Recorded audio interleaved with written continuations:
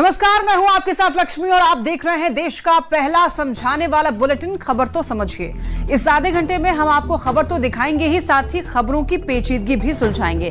तो वो कौन सी होगी मुख्य खबरें जिस पर होगी हमारी खासतौर पर नज़र, पहले वो जान लेते हैं। तो देखिए, आज की चार बड़ी खबरें कौन कौन सी रहने वाली है, वो आपको बताते हैं।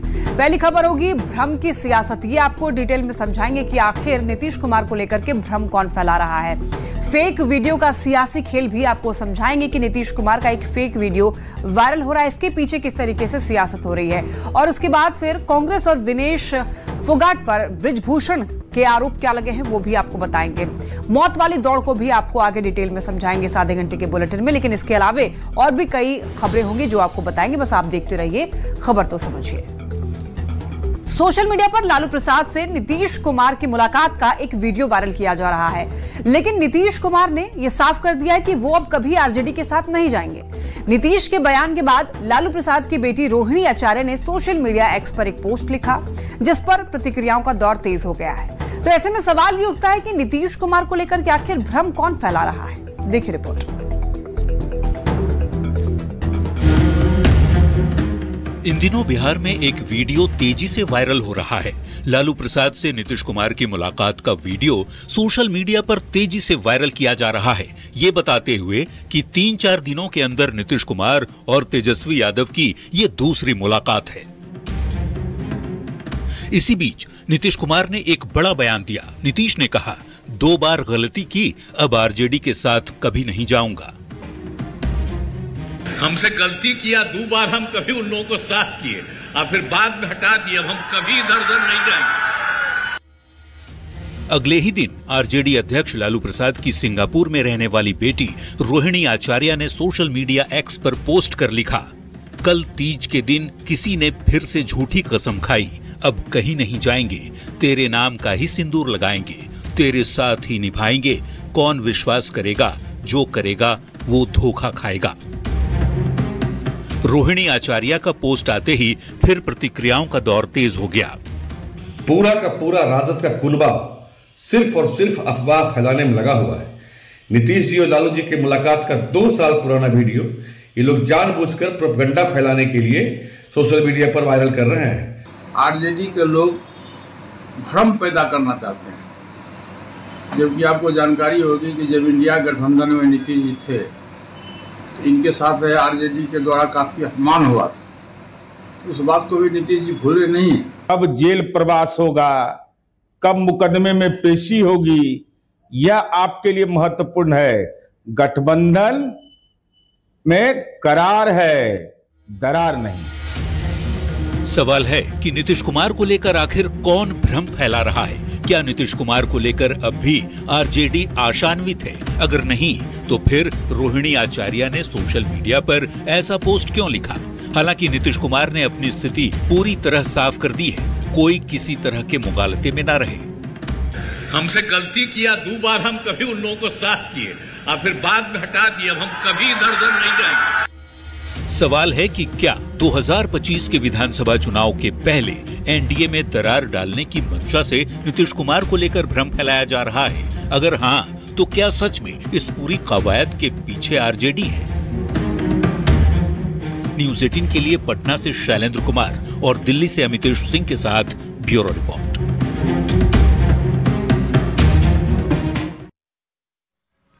तो नीतीश कुमार को लेकर के कौन भ्रम फैला रहा है और उसके पीछे मकसद क्या है, ये समझाएँ। उसके पहले जरा आंकड़ों के ज़रिए ये जान लीजिए कि नीतीश कुमार जब जिस गठबंधन के साथ रहे, उसका क्या हुआ। तो देखिए, नीतीश कुमार का साल उन्नीस सौ पंचानवे से बीजेपी के साथ गठबंधन रहा है। बीजेपी से मिलकर ही नीतीश कुमार ने लालू परिवार को सत्ता से बाहर किया। साल 2005 में नीतीश कुमार ने बीजेपी के साथ मिलकर विधानसभा का चुनाव लड़ा और 15 साल के लालू और राबड़ी के शासन को सत्ता से उखाड़ फेंका। 2005 के बाद की अगर बात करें तो 2005 के बाद पहला लोकसभा का चुनाव 2009 में, उस समय तक बिहार से उखड़ने के बाद भी संसद में, यानी कि लोकसभा में, आरजेडी के सांसदों की संख्या अच्छी खासी थी। लेकिन साल 2009 में नीतीश कुमार बीजेपी के साथ चुनाव लड़े और एनडीए ने 40 में से 32 सीटें जीत ली। साल 2010 में भी नीतीश कुमार बीजेपी के साथ ही चुनाव लड़े। ये इस गठबंधन का चरम काल था। हालात का अंदाज़ा इसी बात से आप लगा सकते हैं कि एनडीए के खाते में बिहार विधानसभा की 243 में से 206 सीटें चली आई। अकेले नीतीश कुमार की पार्टी पूर्ण बहुमत से महज सात सीट पीछे थी। आरजेडी महज 22 विधायकों वाली पार्टी बनकर के रह गई। लेकिन साल 2013 में नीतीश का बीजेपी से साथ छूट गया और साल 2015 में नीतीश कुमार ने आरजेडी के साथ महागठबंधन बनाकर बिहार विधानसभा का चुनाव लड़ा। नतीजा ये हुआ कि महागठबंधन को बिहार की 243 सीटों में से 178 सीट पर जीत मिली और पूर्ण बहुमत के साथ बिहार में महागठबंधन की सरकार बनी। लेकिन 2017 में नीतीश कुमार आरजेडी से अलग हुए। 2019 का लोकसभा चुनाव नीतीश कुमार ने बीजेपी के साथ लड़ा। तब मोदी और नीतीश की जोड़ी ने ऐसा करिश्मा किया कि एनडीए को 40 में से उनचालीस सीटों पर जीत मिली। महागठबंधन में कांग्रेस को महज एक सीट पर ही संतोष करना पड़ा, जबकि आरजेडी का तो खाता भी नहीं खुला। साल 2020 की अगर बात करें तो 2020 में भी नीतीश कुमार की पार्टी जेडीयू और बीजेपी के साथ चुनाव लड़ी। एनडीए को 125 सीट पर जीत भी मिली और बिहार में एनडीए की बहुमत वाली सरकार भी बनी। साल 2024 का चुनाव भी नीतीश कुमार ने बीजेपी के साथ एनडीए के बैनर तले लड़ा और एनडीए को 40 में से 30 सीटें मिली, जिनकी मोदी की तीसरी सरकार बनाने में अहम भूमिका भी रही। यानी कि जब जब नीतीश जिस गठबंधन के साथ रहे, जीत उसी की हुई। अब देखिए, भ्रम फैलाने वाली सियासत को जरा आपको समझाते हैं। और ऐसा क्यों किया जा रहा है, वो भी जरा समझिए। तो देखिए, आज की तारीख की बात करें तो आज की तारीख में एनडीए बहुत मज़बूत स्थिति में है। अब 2020 की तरह चिराग फैक्टर की भी कोई गुंजाइश नहीं है। तो ऐसे में साल 2025 का चुनाव विपक्ष के लिए बहुत मुश्किल साबित हो सकता है। एनडीए नेताओं का कहना है, इसीलिए एनडीए में दरार डालने की कोशिश की जा रही है। विपक्ष जो है खास करके आरजेडी की मंशा जो है, नीतीश और बीजेपी को अलग अलग करने की है। अगर ऐसा ना हो सके तो कम से कम जनता में भ्रम की स्थिति पैदा हो। भ्रम की स्थिति में विपक्ष जो है, खास करके आरजेडी को फ़ायदा हो सकता है और यही वजह है कि नीतीश कुमार ने स्पष्ट कर दिया है कि वो अब कहीं नहीं जाने वाले हैं, वो बीजेपी के साथ ही रहेंगे। सोशल मीडिया पर आरजेडी अध्यक्ष लालू प्रसाद से सीएम नीतीश कुमार की मुलाकात का एक वीडियो वायरल हो रहा है। नीतीश कुमार के इस वायरल वीडियो की न्यूज़ एटीन ने पड़ताल की। न्यूज़ एटीन की पड़ताल में क्या कुछ निकल कर आया वो भी आपको बताएँगे, लेकिन उससे पहले आपको ये बता दें, एनडीए नेताओं ने आरजेडी पर भ्रम फैलाने का आरोप भी लगाया है।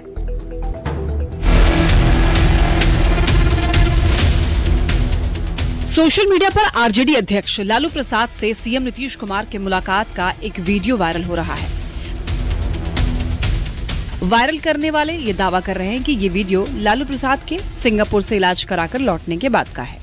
इस दावे के बाद बिहार की सियासत गर्मा गई है। तो जिस तरह से वो अलट पलट कर रहे हैं उनका लोगों का विश्वास उनके ऊपर से टूट गया है और कोई ठीक नहीं है वो कब फिर पलटी मार। एनडीए नेताओं ने आरोप लगाया है कि ये वीडियो पुराना है और आरजेडी से जुड़े हुए लोग इस वीडियो के ज़रिए भ्रम फैलाने की कोशिश कर रहे हैं।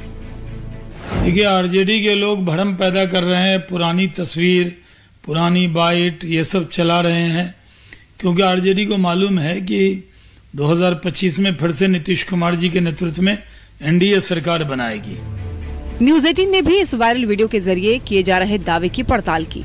न्यूज़ एटीन की पड़ताल में ये वीडियो 5 सितंबर 2022 का निकला है। यानी, दोनों की मुलाकात के पुराने वीडियो को हाल का वीडियो बताकर वायरल किया जा रहा है। मतलब ये कि न्यूज़ एटीन की पड़ताल में वीडियो को लेकर किए जा रहे दावे फेक निकले।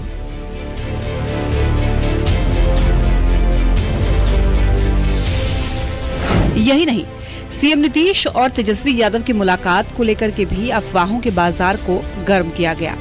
जबकि तेजस्वी यादव नेता प्रतिपक्ष की हैसियत से सूचना आयुक्त की नियुक्ति को लेकर सीएम से मिले थे। पूर्व डिप्टी सीएम या कहें कि नेता प्रतिपक्ष महत्वपूर्ण मसलों को लेकर सीएम से मिल सकते हैं। इसके राजनीतिक मायने नहीं होते हैं, लेकिन हाल के दिनों ने सोशल मीडिया पर कुछ लोग आरजेडी से सीएम की नजदीकी को लेकर भ्रम फैला रहे हैं।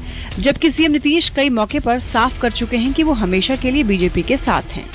हमसे गलती किया दो बार हम कभी उन लोगों को साथ किए और फिर बाद में हटा दिए हम कभी इधर उधर नहीं जाए न्यूज़ एटीन के लिए पटना से आनंद अमृतराज और दिल्ली से अमितेश सिंह की रिपोर्ट। तो फेक वीडियो का सियासी खेल जरा क्या है वो भी समझिए। 2025 में बिहार विधानसभा का चुनाव होने वाला है, यानी कि अगले साल ही विधानसभा का चुनाव होगा। तो अभी से ही राजनीतिक दल जो है वो मुद्दा और माहौल बनाने में जुटे हुए हैं। नीतीश कुमार के नेतृत्व में एनडीए बिहार विधानसभा का चुनाव लड़ेगा। इसी बीच लालू प्रसाद से मिलते हुए नीतीश कुमार का एक पुराना वीडियो वायरल किया गया। और ये बताने की कोशिश हो रही है कि नीतीश कुमार फिर से आरजेडी के साथ जा सकते हैं। आम आदमी को तो ये पता नहीं है कि ये वीडियो आज का है या फिर पहले का है, ये पुराना वीडियो है। तो पुराने वीडियो को भी लोग आज का समझ सकते हैं कंफ्यूजन क्रिएट हो सकती है। इसकी वजह से बीजेपी और जेडीयू के कार्यकर्ता भी कंफ्यूज हो सकते हैं। तो इसके साथ ही वीडियो के ज़रिए बीजेपी और जेडीयू में खटास पैदा करने की कोशिश की जा रही है, ताकि एनडीए कमज़ोर हो या फिर वोटर में भ्रम पैदा हो, इसका फ़ायदा विपक्ष यानी कि इंडिया अलायंस को मिल सकता है। और यही वजह है कि जेडीयू और बीजेपी नेताओं का यह कहना है कि आरजेडी के नेता जो हैं, वो भ्रम फैलाने की कोशिश कर रहे हैं ताकि जनता कंफ्यूज हो। चलिए, बढ़ते हैं खबरों में आगे। देखिए, विनेश फोगाट और बजरंग पुनिया के कांग्रेस में शामिल होने पर डब्ल्यूएफआई के पूर्व अध्यक्ष और बीजेपी नेता ब्रिजभूषण शरण सिंह ने निशाना साधा है। ब्रिजभूषण शरण सिंह ने कहा है कि 2023 में जब जंतर मंतर पर धरना शुरू हुआ था तो मैंने पहले दिन ही कह दिया था कि ये खिलाड़ियों का आंदोलन नहीं है। इसके पीछे कांग्रेस है। खास करके भूपेंद्र हुड्डा, प्रियंका गांधी और राहुल गांधी।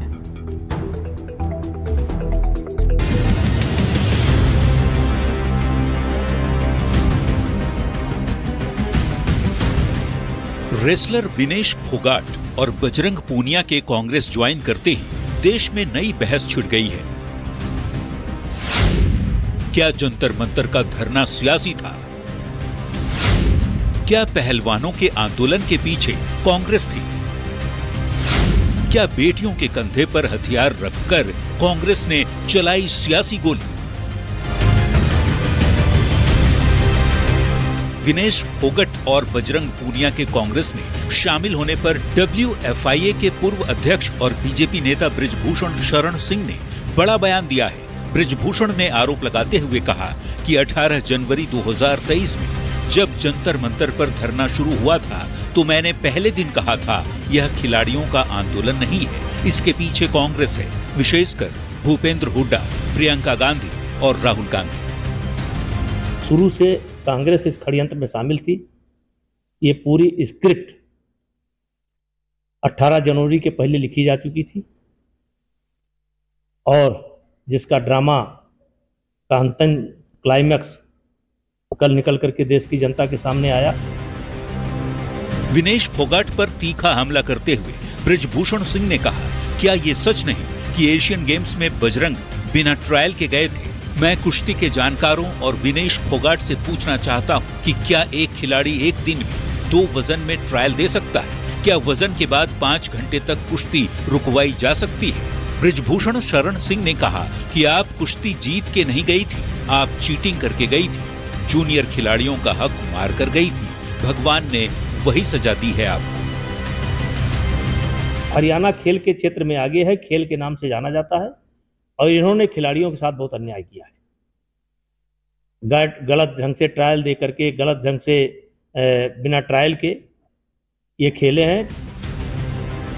ब्रिजभूषण शरण सिंह ने कहा कि आज ये बात सच साबित हुई कि इस पूरे आंदोलन में जो हमारे खिलाफ साजिश के तहत किया गया उसमें कांग्रेस शामिल थी और इसका नेतृत्व भूपेंद्र हुड्डा कर रहे थे। हालाँकि बजरंग पूनिया ऐसे आरोपों को गलत बता रहे हैं। और उस समय ना हमारा राजनीति से कोई लेना देना था। स्टार्टिंग हमने किसी राजनेता को मंच पे नहीं दिया था। आपको बता दें कि साल 2023 में महिला पहलवानों ने भारतीय कुश्ती संघ, यानी डब्ल्यूएफआईए के तत्कालीन अध्यक्ष ब्रिजभूषण शरण सिंह पर यौन शोषण के आरोप लगाए थे। उनकी गिरफ्तारी की मांग पर बजरंग पूनिया, दिनेश फोगाट और साक्षी मलिक की अगुवाई में पहलवानों ने दिल्ली के जंतर मंतर पर धरना दिया। इसकी वजह से ब्रिजभूषण कुश्ती संघ के अध्यक्ष पद से तो हटे बीजेपी ने उनका लोकसभा का टिकट भी काट दिया। तब ब्रिजभूषण शरण सिंह ने आरोप लगाया था कि इस पूरे घटनाक्रम के पीछे कांग्रेस की साजिश है। Bureau report, news eighteen.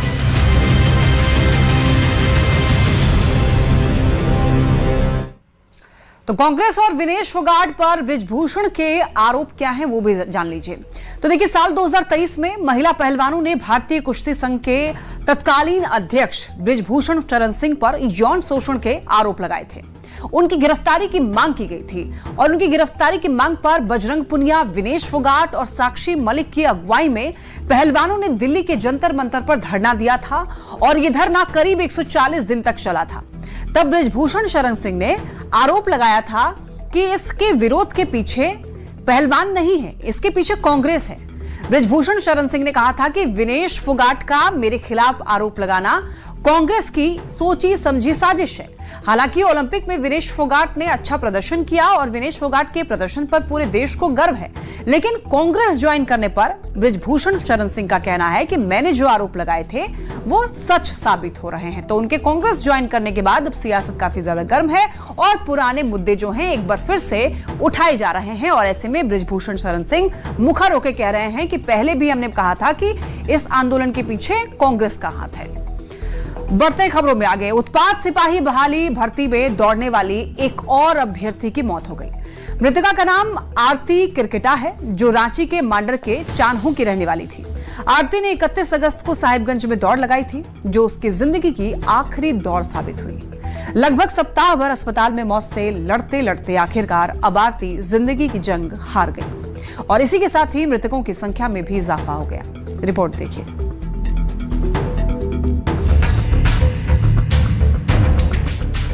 कहा तो दौड़ रोज़गार के लिए लगाई थी। अधूरे ख्वाबों को पूरा करने के लिए लगाई थी। और कहा अब ये दौड़ ज़िंदगी पर भारी पड़ गई।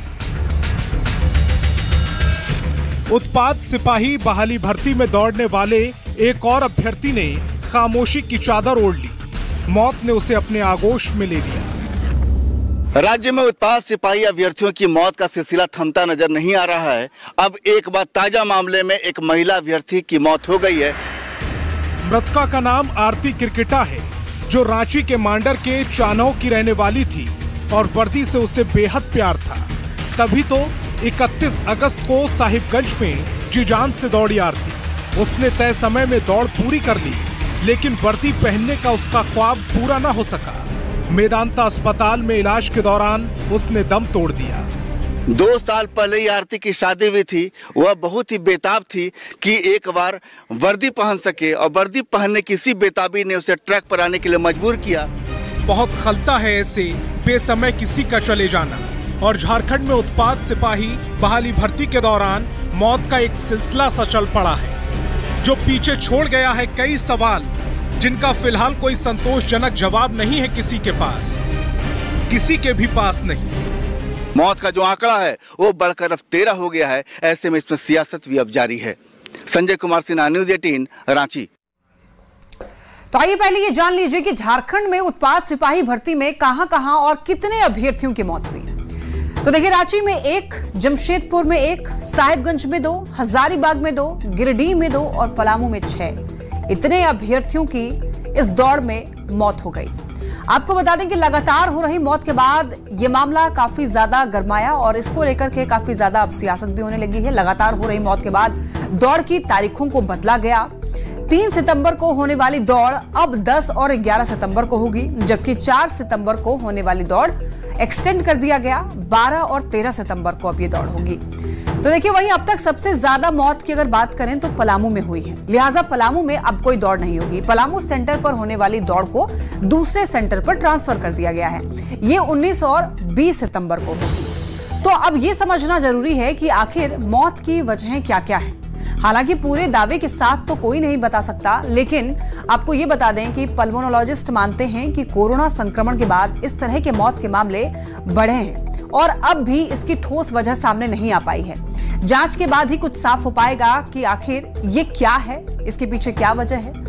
दूसरा आरोप यह भी लग रहा है कि दौड़ में शामिल होने वाले अभ्यर्थियों ने स्टेरॉयड ली होगी, जिसकी वजह से मौत हो सकती है।